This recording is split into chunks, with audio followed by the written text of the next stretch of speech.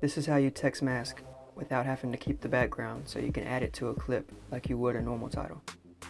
First you'll drag your footage that you want to use as the mask down to your timeline on the first track. I'll clone it a couple times so it'll loop. Then you'll add an overlay title.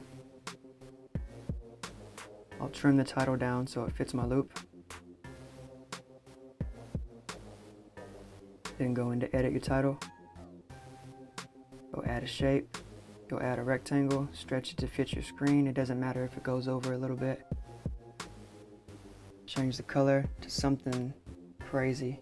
I'll do a hot pink. It's easier to chroma key. Then go to layers, move that shape back so your text is in the front. Go down to your text.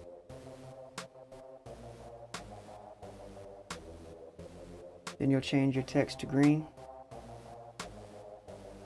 Go to color and effects, chroma key, and chroma key green.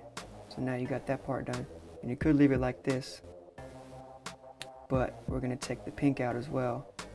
So you're gonna go ahead and render this project.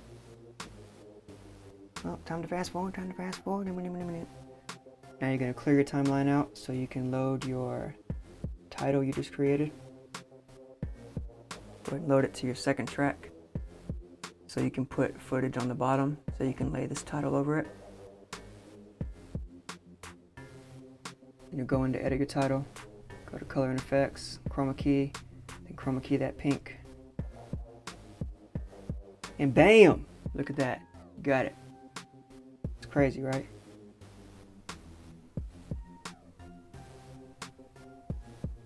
And you can also, you know, resize it, of course. Put it where you want it. Boom. Look at that.